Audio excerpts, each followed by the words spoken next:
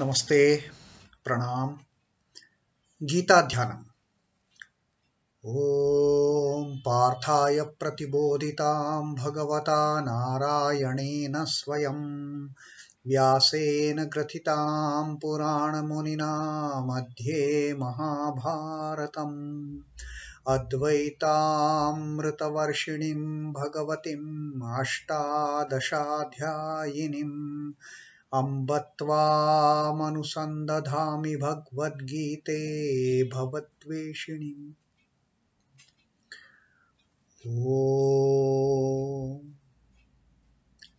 O. Bhagavad Gita with which Lord Narayana himself gave enlightenment to Arjuna which was included in the Mahabharata by the ancient sage Vyasa O showerer of the nectar like knowledge of Advaita non dualism, O goddess, through your 18 chapters, O my affectionate mother, the destroyer of rebirth, I meditate upon thee. Now, Krishna Vandana. वसुदेवसुतं देवं कंसचाणूरमर्दनं देवकीं परमानन्दं कृष्णं वन्दे जगद्गुरुम् O Lord, the son of Vasudeva, slayer of Kansa and Chanur, extreme delight for Mother Devaki, O Krishna, the supreme teacher of the universe, I bow down to you.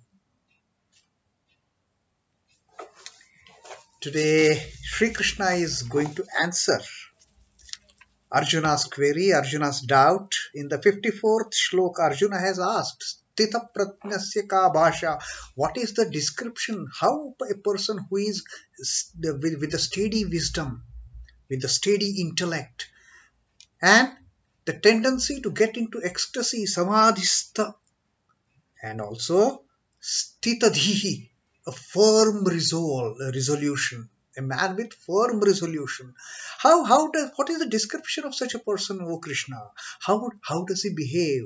How does he how does he sit? How does he walk? How does uh, he he he speak? Hmm? Kim prabhashet? Kim asit? Kim vrajet? How does such a person talk? How does he speak? How does he sit? How does he walk?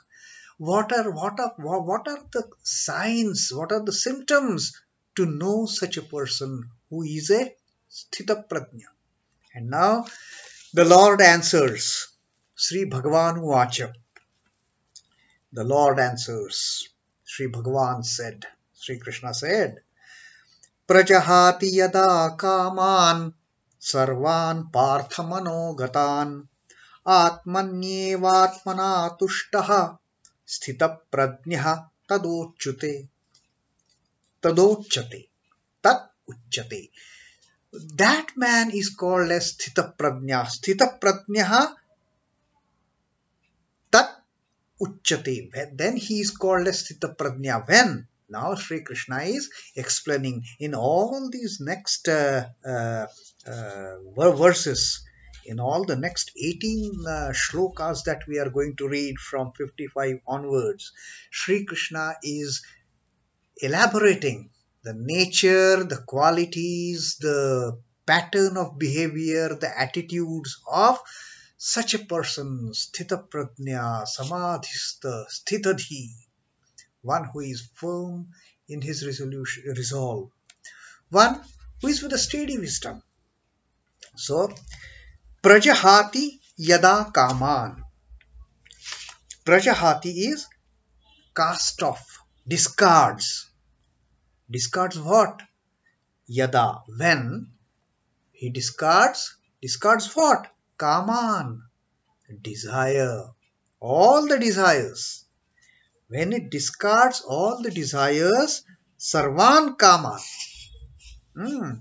When a person discards, renounces, gives up all the desires, then, O Partha, O Arjuna, manogatan of the mind, desires of the mind. When a person gives away all the desires of the mind. O Partha, Atmani Vatmana Tushtaha. Atmani in the self. Eva Atmana by the self. Atmani is in the self. Eva Atmana even by the self. Tushtaha is satisfied. Sthita prajna tada uchate. Then he is called as a sthita. Having renounced, having given up, having cast away all the desires of the mind, when a person gets established in the self, capital S, when the person gets established in the self and by the self, then tada sthita prajna uchate. Then that person is called as sthita of steady wisdom, of a firm mind. The blessed Lord said, Sri Bhagavan Vacha, when a man abandons, O Partha, all the desires of the heart, all the desires of the mind, hmm, manogatan, man, man, mano, manogatan sarvan kaman, all the desires of the mind, of the heart, and is satisfied, tushtaha, and is satisfied by doing what? Satisfied in the self by the self, by merging in the self, by merging this self in the self.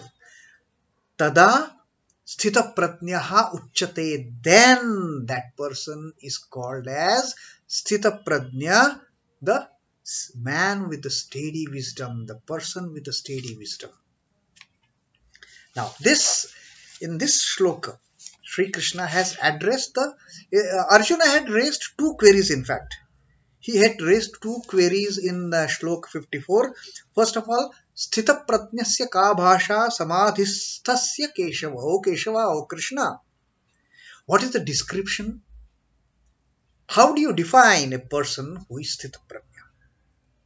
And then in the second line of that verse, he had asked another question that how does he speak, how does he sit, how does he walk, all the physical uh, attributes of that person.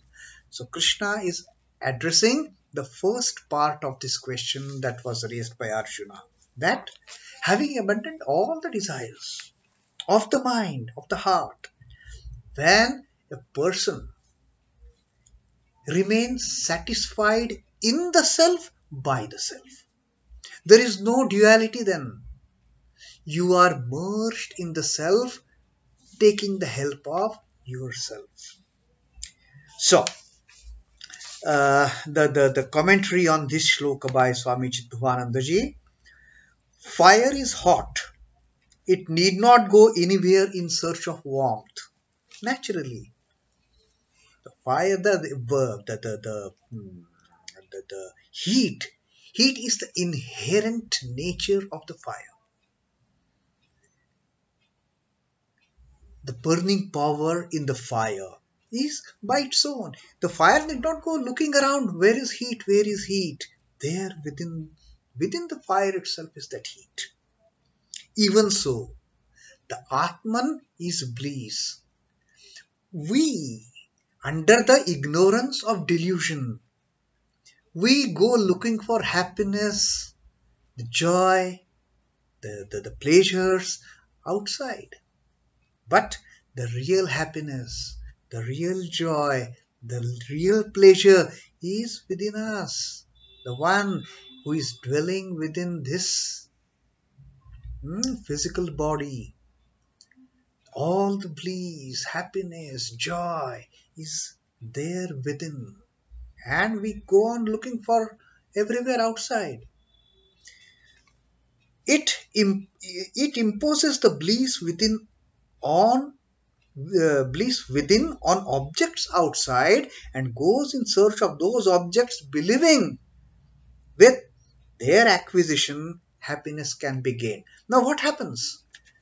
This Mahamaya has project created a projection of the Brahman in the form of Prakriti. Even so, whatever bliss is there inside our ever dwelling Atman, which is imperishable, which is indestructible, which is indivisible. It is nothing but Satchidananda, the bliss, it's verily its nature.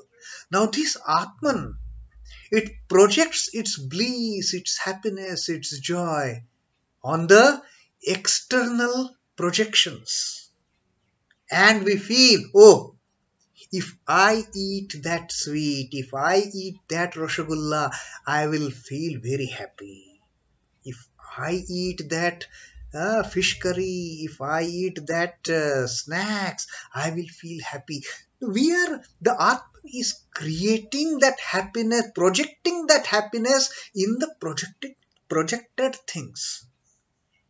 And we start looking around everywhere outside. But the real happiness is here. This search outside for happiness is called kama, desire. From where will I get that good taste? Hmm.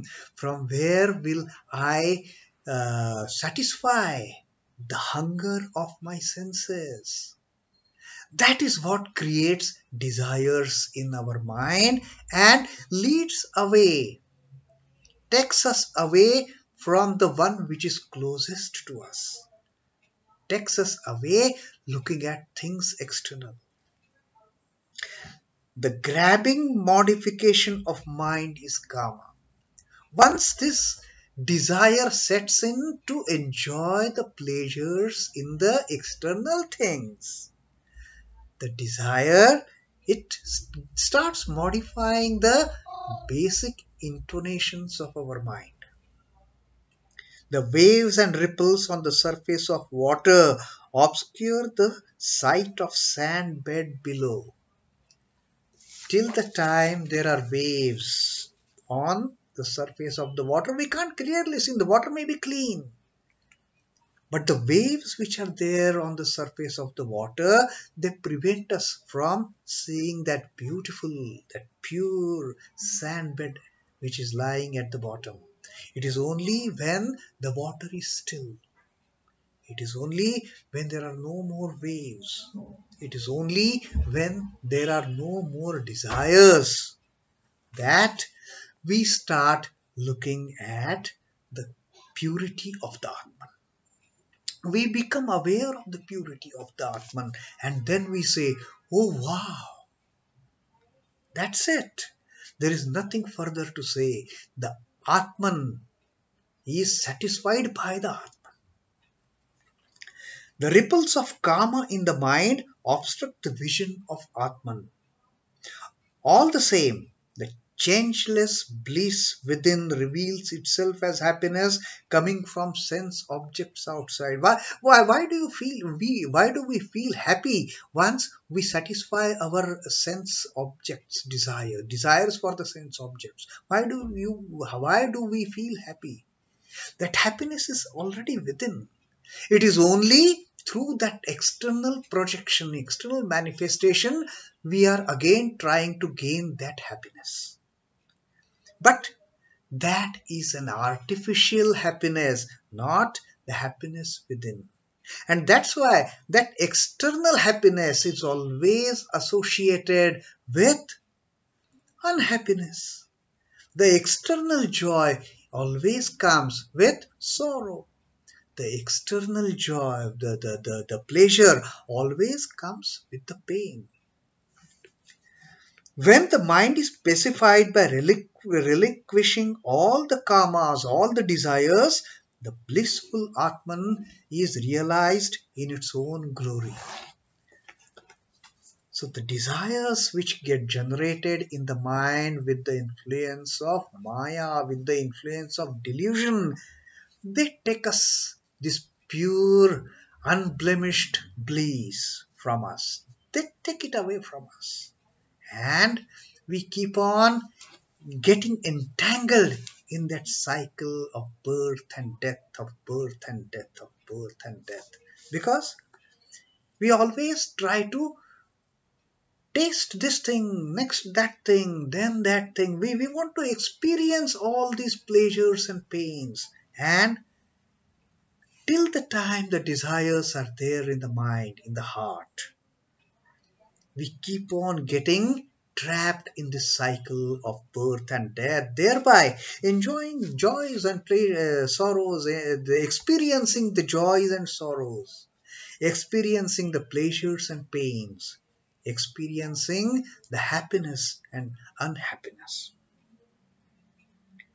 He is a Brahmajnani who intuits that the happiness he sought for in the world outside is in its entirety in himself. In all the happiness that we look around, all the pleasures that we look around, they're already there inside with a difference that there is there is no opposite pairing pattern attached to it. The, the bliss here is unconditional bliss. The happiness here inside has no unhappiness attached to it because it has become one. The pairs of opposites have all merged into one. There is no more pain, there is no more sorrow, there is no more unhappiness, there is no more pain. He remains self satisfied, satisfied in the self. Atmani tushtaha. He remains satisfied in the self by the self. The aspirant who seeks to wipe out all desires and to pacify the mind is the one who practices yoga and is the one who will get into that state of ecstasy, of samadhi, of sthitadhi. Now, uh, Sri Ramakrishna's teaching, which uh, uh, you know uh, connotes with this teaching of Sri Krishna, he who is dead as it were when alive. That is to say, as desireless as a corpse becomes competent from Brahmajnana. This is the simplest solution. This is the simplest description of a person who attains Brahmajnana, who becomes Sthita Prajna. That, like a corpse, once once the, the, the prana gets out of this body, there is no desire for the body then. The dead body doesn't feel like eating a roshagulla or, uh, you know, uh, uh, enjoying any other pleasures.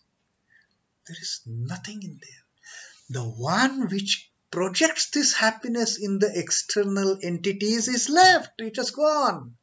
Now, there is no more desire in the body. While living when we can become like this, that is what Sri Ramakrishna says. While living when we can give up these petty desires, the worldly desires, then we get into the state of becoming, we, then we become eligible to get that knowledge of Brahmajnana. And in this context, I am also reminded of our Ma's words, the Holy Mother Sri Sarada Devi. She used to say, she used to tell her disciples that desire is the root of all suffering. So if you want liberation, become desireless. Get rid of all these petty desires. Desire only for the Lord, desire only for the mother, desire only for that absolute bliss.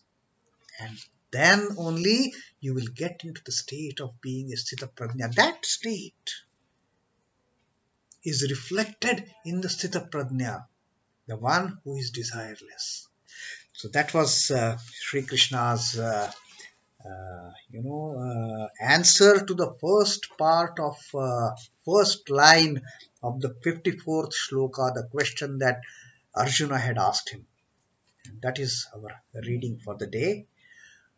ओम नमो भगवते वासुदेवाय। श्री कृष्णार्पणमस्तु जय श्री राम कृष्ण जय ठाकुर। जय माँ। जय स्वामी जी